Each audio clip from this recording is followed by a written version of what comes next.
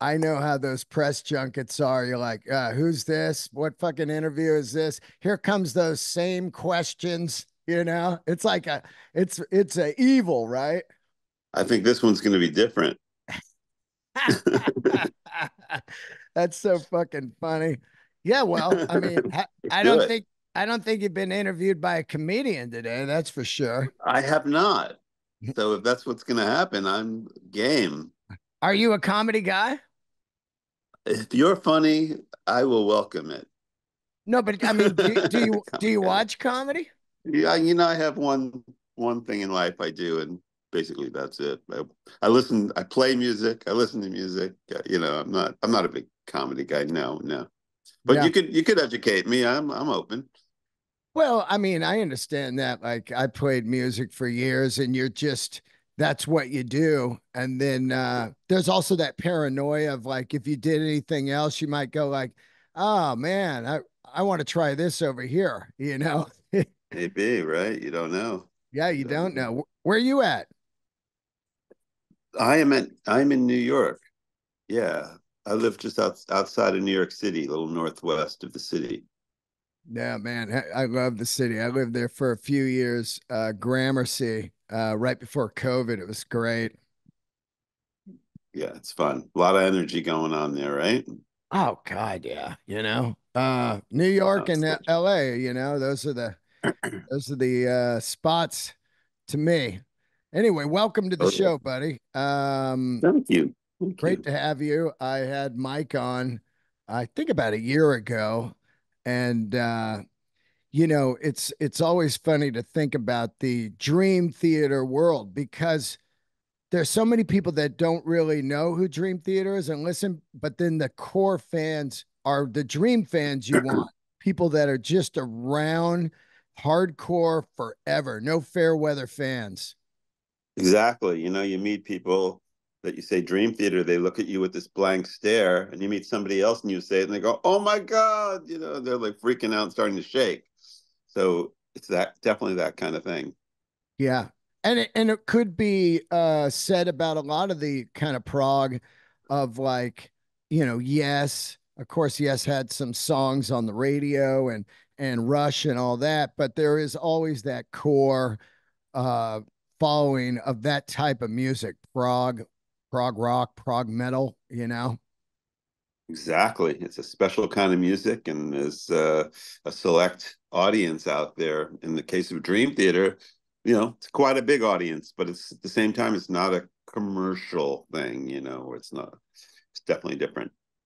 Well, that kind of thing gives you hope in uh, in the world if you're doing art that's outside the box and you're able to support yourself even at a fantastic level of like dream theater, it gives you hope of like, oh yeah, not everybody's just looking for vanilla, you know? And and those are the type of audiences I like to uh talk to and and perform for. Yeah, I think that you're absolutely right. I mean, let's face it, if you're if you're providing something that is really commercial, the chances are it's going to be something that appeals to the average intelligence. If you're doing something that has more depth to it, well, then it's naturally going to have a smaller crowd. But, you know, in the case of like progressive rock and progressive metal and, you know, styles like that, you're appealing to a, a certain kind of intellect, right? And also, you know, especially like in the, in, well, in the music space, in today's world, people's attention spans, as we know, has gotten less and less because we're the TikTok, uh, in, Instagram uh, generation, and we're, you know, scrolling through like this, and you know, you, you I, like I'll put something up online, and you know, I'll think, oh man, that's a cool piano piece. I really got into it, and I played it really well, and I'll look at the insights. What do, what what do people do with it? They listen to it for like 10 seconds. That's the most people will just say 10 seconds and then they're gone. Could be the greatest thing I ever played, but they're gone after 10 seconds. And that, you know, that sucks. However, you know, like I'm still making albums. Dream Theater is still making full albums because we are planning, hoping that people put it on and want to go for the ride, want to take the journey. and that to me is still something that's really valid. You know, a lot of a lot of us artists out there are still holding on because we feel like, hey, we're not going to let go of our art form and the idea of giving people something that they can really invest in. I think it's really important. It really is, man. If you think about some of the masterpiece films, even uh, say Apocalypse Now, where if they turn that in now, if Coppola turned it in, people in the studios would be like, oh, oh no, this is three and a half hours. We need 90 minutes. Just uh, you know, skip this whole boat scene, you know. it'd, be, it'd be fucking absurd. Yeah.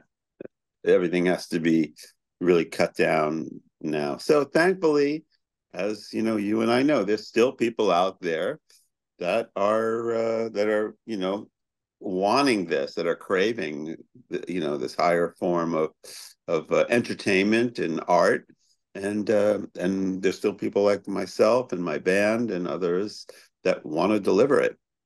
Yeah, uh, and and thank God, you know, that there are people and and also people like Dream Theater that are able to do it. And a lot of it has to do with the incredible fans. A lot like I just went and saw Dead and Co last week. The fans are totally different type of people. They're not looking for the AM radio. They're not necessarily the uh, TikTokers or whatever. They enjoy and experience a ride. You go to a Dream Theater concert or uh, you know, Dead and Co. You're you're seeing something that's almost uh, a relic from the past, but young people are embracing it like, oh God, this is great, you know? Totally. Yeah. It's really interesting to see the the audiences. I'm sure that was a pretty cool show though you went to the other Ooh, day. Man. Yeah. It's all good. Yeah. That's awesome. Um, I grew up in the 70s. It's interesting that you are 68, by the way. I am 58, and you look fantastic. And uh, oh, wait a minute, I'm I'm 67, by the way. 67. Oh, yeah, big hey, difference there, right? Don't don't want to fuck up, yeah. man. Should we start the interview over?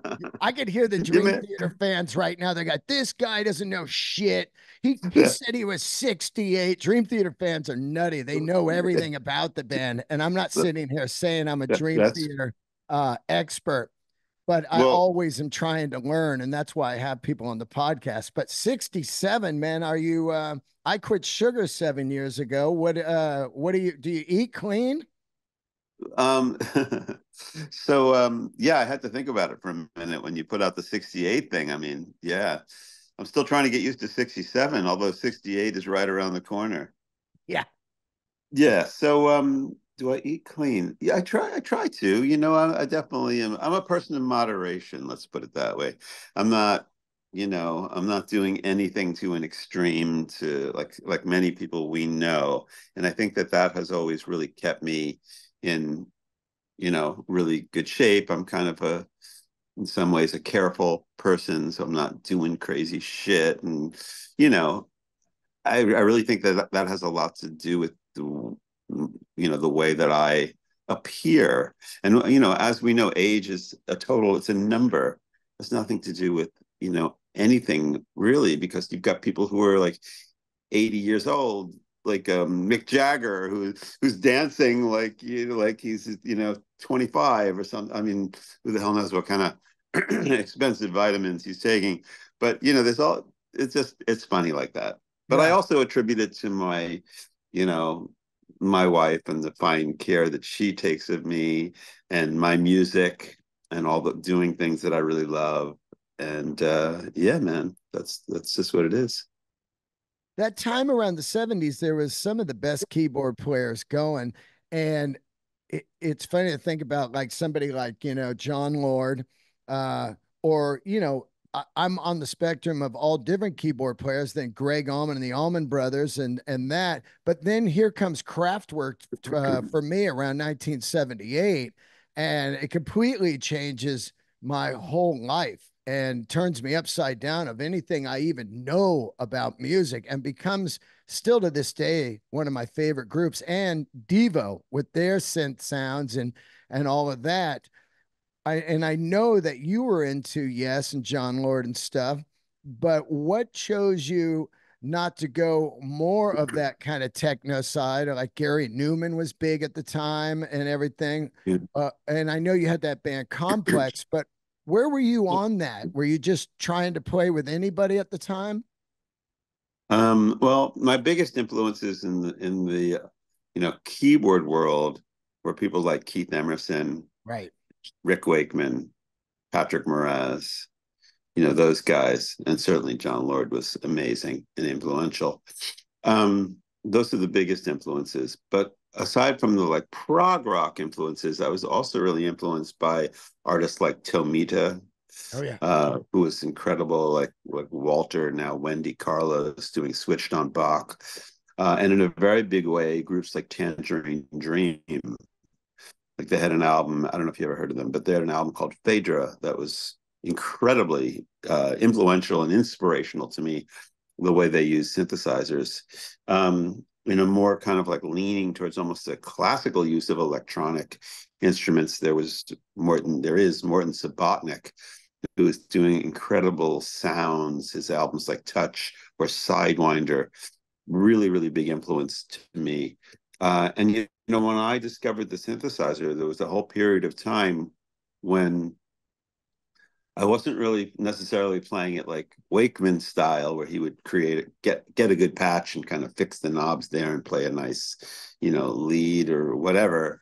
I, I had one hand on the keyboard and one hand always on the knobs. And I used to go with some friends and we used to do like late night college radio stations and just trip people out like at midnight and just play like the most wild, crazy shit that you've ever heard in your life.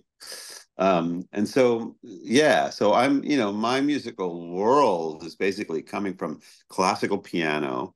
And then around 17 or 18, I discovered progressive rock and Genesis and Yes and ELP and King Crimson and Gentle Giant. Mix that with all the electronic and this really spacey stuff, and you kind of start to understand where I'm coming from.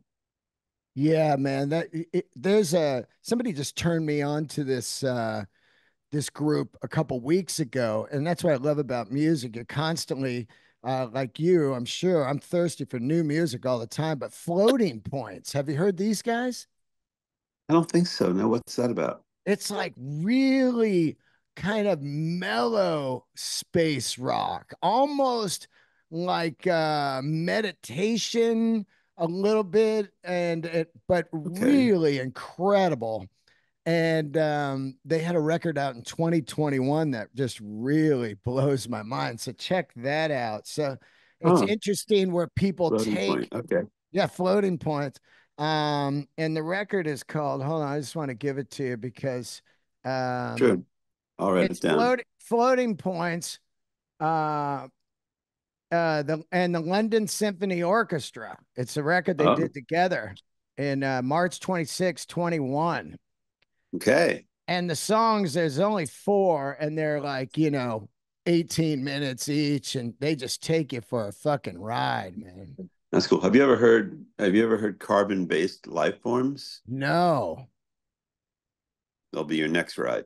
Another, I'll check that out right now. Uh, I Yeah, mean, not, carbon carbon-based life forms. Go listen to some of their shit. You'll and like is it. is that uh synth kind of prog or space? Elect electro ele- it's electronic, floaty, spacey, cool. Yeah, Yeah. definitely cool stuff. You'll like it.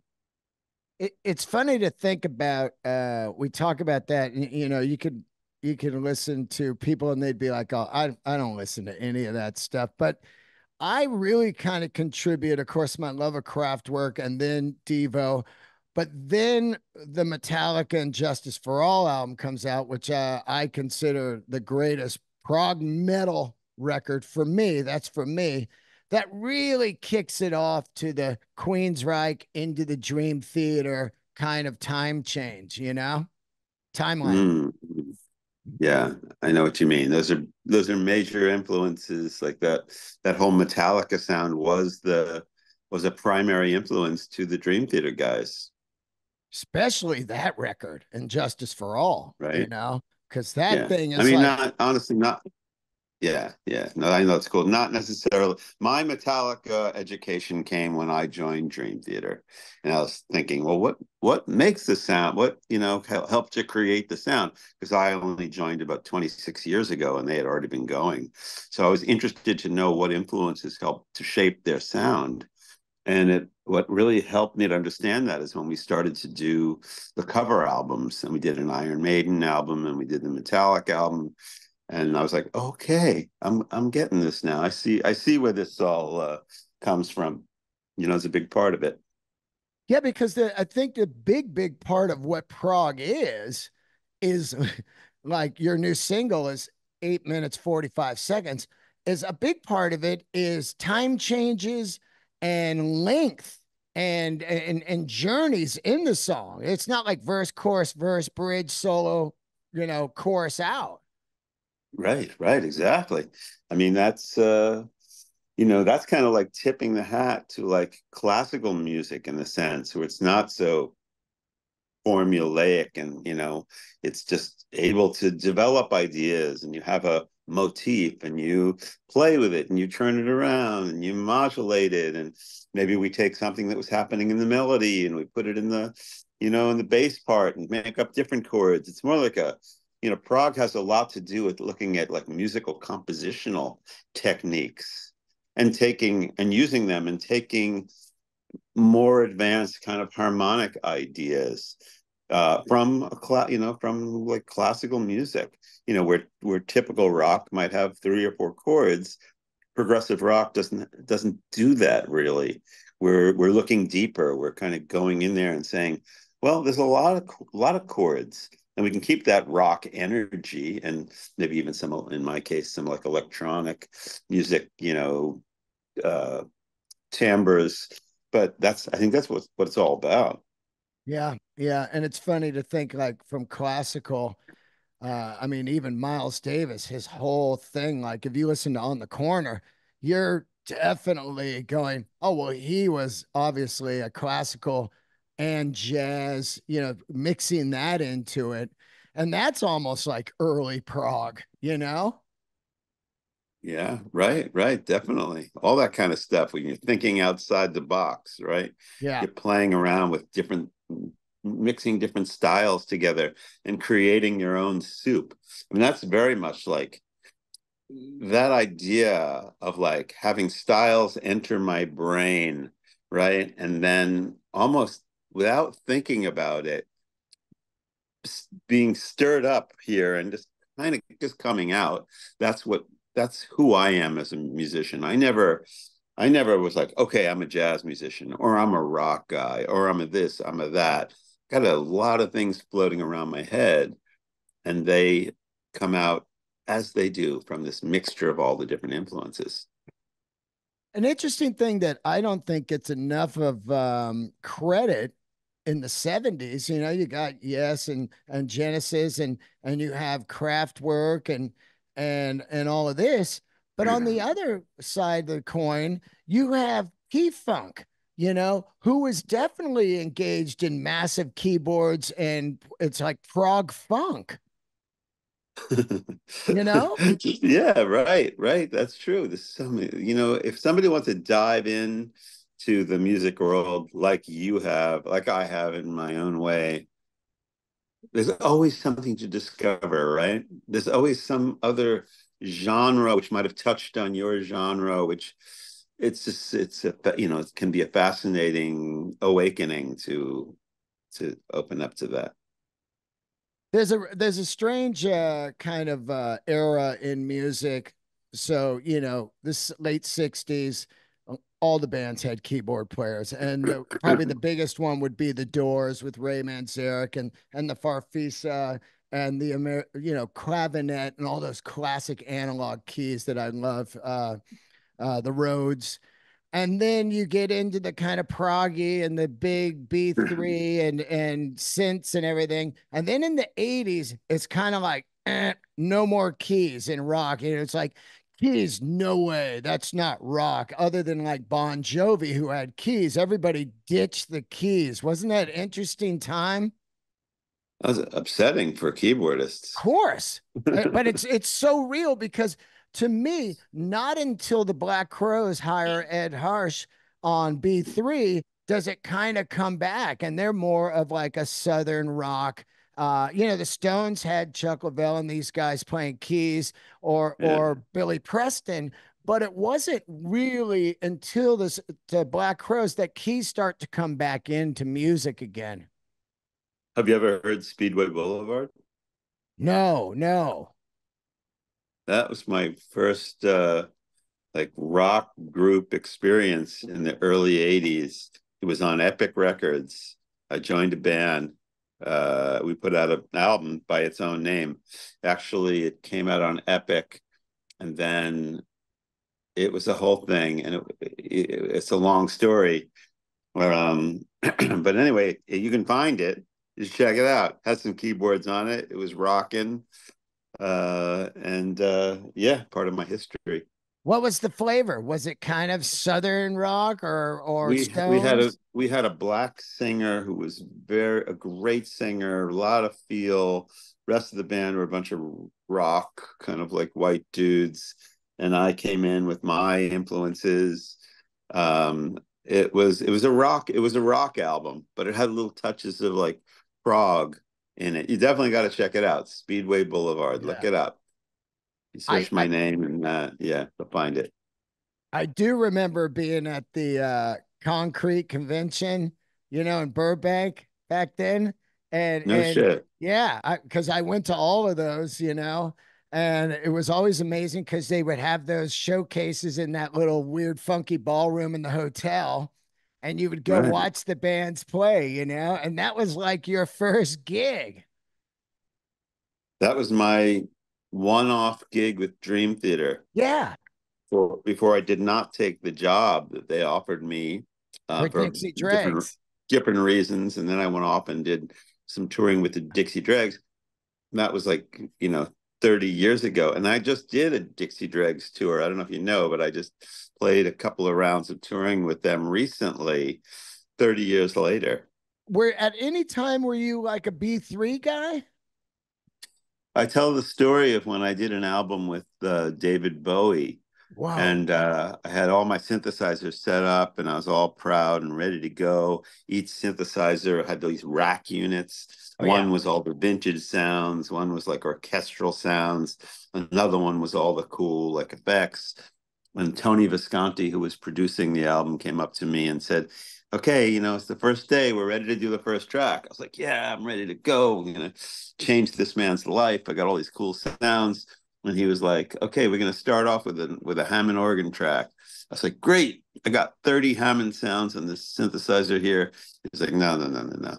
So we got a Hammond over there in the corner. We're going to dust it off and then you're going to play that. I was like, uh, Tony, I said, you know, I'm a classical pianist turned synthesist. I don't even know how to turn on a Hammond. I don't know anything about Hammond organs. He was like, "Don't worry, don't worry. We'll get it turned on. Just pull out some drawbars. It'll be fine." pull out some drawbars. you know, you know what's funny about that is that's totally like uh, a producer's mind on a keyboard player. You know, they would never do that to a guitar player. Like, well, I've never played, uh, you know, a nylon string guitar, you know, or whatever and and then what they're probably really looking for is just one B3 swell the with the fucking with the you know the the whir the whirly flying the uh you know the uh what do they call the uh, thing the uh, the rotary the speaker the Leslie the yeah Leslie the Leslie just yeah. they just want one swell and they're like we got it.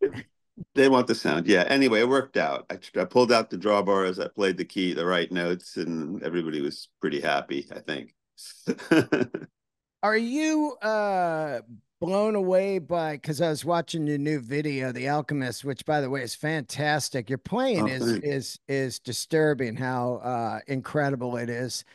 and um uh, are are you pretty blown away because I played music for years and we had a keyboard player and and I am a huge fan of the B3 and then of course we start getting into well we're in a van we can't get that fucking b3 so we start getting the simulators the nord and the you know the hammond uh i think it's the c or whatever the c2 or whatever they had the their simulator and then there's uh simulating um, Leslie speakers and stuff.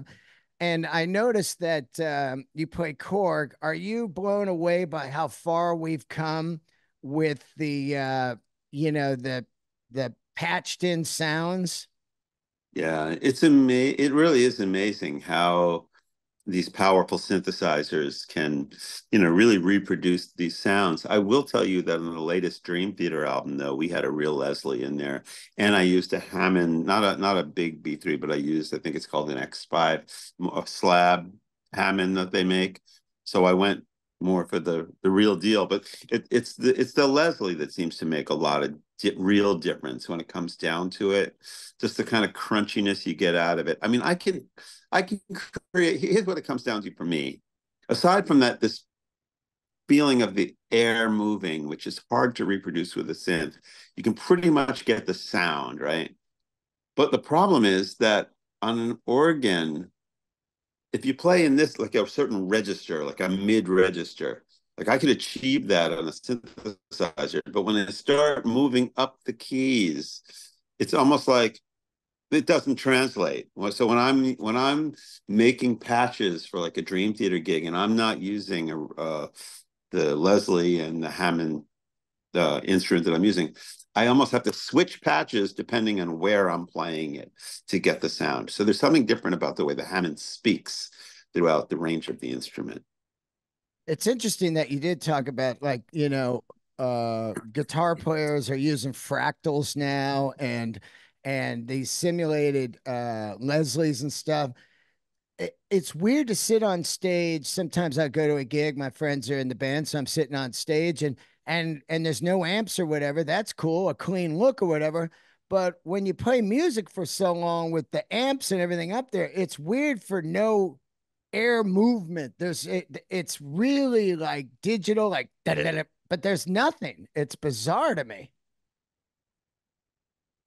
Well, yeah. I mean, I, I, you know, I, I like digital technology, and I think that there's definitely so much you can do with it. I mean, some of the new neural DSP stuff, fractal stuff is incredible. Of course. You know, um, but there's a time and a place for every everything. Like in the studio again with Dream Theater, we decided that hey, let's get a real Leslie in here and just push the air and record it that way, and it sounds fantastic. You know. Oh God, I mean don't get me wrong. Uh, the fractal stuff is amazing. Like, you know, uh, incredible. Yeah. I, beautiful. I stuff. opened for Metallica. Uh, I do comedy. So I opened for him on their 40th. So the guy's running me through it. And he's just like, okay, right here, here's the Master of Puppets exact tone. It's right here. And so when they play Master of Puppets, you're getting the album tone. It's so bizarre, you know? Yeah. Yeah, it, yeah, yeah, absolutely. And also, you don't have to travel with a bunch of shit because it costs so much to tour now. You're like, all right, we right. can tour way cheaper. We also got a, uh, a beautiful Yamaha C7 piano in the studio for the Dream Theater album, which was incredible. It sounded great. So we had a real piano and a real Leslie, and you know, it was it was awesome. I read somewhere recently that you were saying that with Mike back in, it definitely has the uh, the magic. Um, that you know, I'm a, a, firm believer in chemistry. Of course, Dream Theater has been super successful still without Mike, but there's always that thing, man, uh called chemistry, and you cannot, you cannot, you know, fabricate that. Absolutely. I mean, I the uh, what I, the way I've been describing it is that you know, hey, we won a Grammy. We had 13 years. We made great albums. When Mike walked in the room and started to work with us, my first feeling was like, oh my God, this person, he's such a part of this. His, you know, not only his drumming, which has its own feeling, sound, and personality, but all the all the various talents that he brings in to an artistic, in this case, band situation you know, both in the audio world and the visual world, the way he thinks is different. Uh, his, uh, you know, these days, even his knowledge of social media and the way he handles that, he's so great at it. Um, his understanding of the relationship with the fans, building set lists. I mean, you know, we survived fine we wrote some, I think, some damn good music, you know, for many years. Uh, but hey, it feels so great to have Mike back because he's a man who brings with him a lot. There's a lot of depth to who he is as a person and as a musician and as a creator. And, you know, and we all appreciate it so much. Yeah, and the, and it just makes full circle on the history of that. You know, is yeah, it, there's yeah, nothing weirder cool. weirder than a, a position um, of the drummer, or even you when you came in for Derek, where you get these people forever that are never going to be happy. They still go to the gigs and support it, but they're still on the chat boards. They're still talking to people at the gigs, like, you know. But yeah. No, it's fantastic. We're in our next chapter, and everybody around the world is just so excited about it. This is so much energy. People are buying tickets, you know, like crazy. And we're gonna put on a, you know, we're gonna put on a great, great show. There's no there's no doubt about it. Yeah, absolutely. Now, um, you got the solo record coming out, Permission to Fly. When does that come out? So, Permission to Fly is going to be coming out on September 6th. You can pre-order it right now. Go over to Inside Out's website. Um, two songs have been released so far. Embers was released on the Moises platform. For those of you who don't know, Moises is this amazing application that lets you separate tracks. So you upload a an audio track and it comes back to you from the server a minute or two later. All of a sudden, you have like the vocals separate, the keyboards, the bass, the guitar. It's like having access to the individual tracks. It's amazing. Um, so we released Embers on that platform and had a contest so people could actually do play the guitar or sing or play drums or keyboards, whatever they wanted to.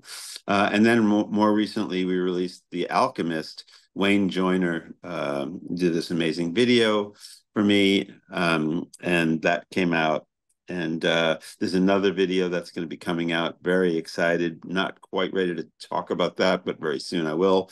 Um, and then the album's going to come out pretty soon. And uh, that'll give people something really, I think, meaty and substantial to listen to while they wait for the Dream Theater album. Any vinyl on this uh, on your solo record? Yeah, I think they're going to do that. Yeah, it it's coming out on Inside Out, so they'll do the usual treatment. And then when is the Dream Theater album coming out? Well, we don't have a release date yet, but it'll be, you know, sometime after that. Right, right. Uh, I read I read somewhere that you have perfect pitch, and uh, I always wanted to talk to somebody about that. At what point do you figure out you have perfect pitch, and are you able to listen to singers live without going crazy? Um, well, uh, yeah, I have perfect pitch, and I realized that when I was young, and it just came up like, oh, that's an E. And somebody said, "How do you know that?" I was like, "Doesn't everybody know that?" Because to me, it was always like, you know, you look at something, oh, that's black. I mean, it's no question what the color is. To me, if you play a note, there's no question what the pitch is. Um, but as far as like a little flat, a little sharp, yeah, I mean, I, am like you know most sensitive musicians. If you played something and somebody was flat, you go ah, you know. But it's not like I guess some people out there can say, oh, that's an E, but it's three cents flat. I don't I don't have that. You know, right. uh, if, if you put a note in the air and it's an E, there's a range to me of E. Like it's an E. I'm not going to really be able to tell you exactly how sharp or flat, but I know that general color, if you will. Like that's blue. Is yeah. it very blue? Is it a little blue? Ah, whatever. It's blue. So so if somebody, let's just give uh, the audience a little idea of what we're talking about. If somebody just gets a guitar out and they just play a note and you're not looking, you can just say C sharp yeah. or or yeah. Oh, definitely. Yeah. So absolutely. That, that must have been lightning speed for you to learn covers. Uh, um, yeah, no, it, it definitely changes your perspective and it changes the way you absorb music and the way you write it. It's a definite thing. I've been learning how to play the guitar the last few years. I've been on a very serious guitar kick. It's a very a big hobby for me, really. But um, and it's interesting because on the guitar, perfect pitch is is not necessarily the best thing. Relative pitch would be better. This is a whole bunch of dots and spaces, and like you just need to know what the what the relation is, the relative relation is. And I'm sitting there trying to say, okay, on that dot, on that space, on that string is an A. But when you look at the guitar, it's like there's a lot of dots and there's a lot of spaces. So it gets a little complicated. So it's almost like you need to change your perspective, which is really one of the reasons why I'm doing it because I'm interested to, you know, always grow and develop my my uh, my brain. Well, also the the strange thing of guitar is if I go up and I'm going to play an E and I press down on the string, I'm at the E position, but I could press it a little harder or push it a little bit, even though I'm in the E position, it's no longer E. Yeah, it'll change pitch. Right. It's tricky. It's definitely tricky, not like a piano. Yeah. Now, when you're out with Dream Theater, how many keyboards you got? Um, I got uh, well. I mostly use my Kronos keyboard, uh, and you know, I'm I'm I'm the kind of keyboardist who instead of having like a lot of keyboards, I like to get one mothership, really super powerful one that I program the shit out of and I put it on my rotating stand so I can turn this way and I can turn that way and you know really do a have some fun and put on a show. Um, so a little bit of a different approach for uh, a prog rock keyboardist, but I have a different you know way about things for sure. Yeah. It was great to talk to you. And uh, congrats on the solo record. Congrats on Dream Theater with Mike back in. I know it's going to be a uh, an insane, massive tour this year, and uh, and the fans are fired up. And it was great to uh, meet you, man. And um, you know, you're just a smoker on the keyboards. That's it's it, there's not a lot of guys out there. I would say a small amount that can really do what you're doing. Uh, well, thanks so much for the time. It was a pleasure to meet you. Really fun to talk, and also for the energy and helping to promote Permission to Fly, uh, which is cool. I'm very excited about it, and uh, yeah, hopefully we'll get a chance to talk soon again. Yeah, and one more time, check out Floating Points. And what was that band again? Uh, carbon based life forms. Okay, carbon base life form. Okay, I'm on that right now. And uh, awesome. Uh, I Great. really appreciate it, man. Thank you. And oh. congrats on only being 67 instead of 68. Thanks. For a little while until November when it all changes. There you go. I'll see you, buddy. All right, man. Take care. Bye bye, Nandi.